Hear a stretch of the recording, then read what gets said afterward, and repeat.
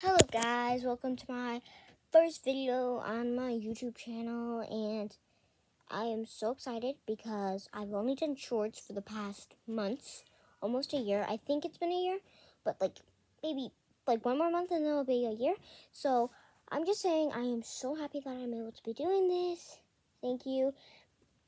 Also, if you want to figure out how to do this, all you have to do is get the app called InShot. It's an amazing app and it'll let you like basically get a YouTube channel. You just have to make an account and that's it, basically. So thank you, InShot, for doing that, and that's all I want, really want to say. So thank you guys.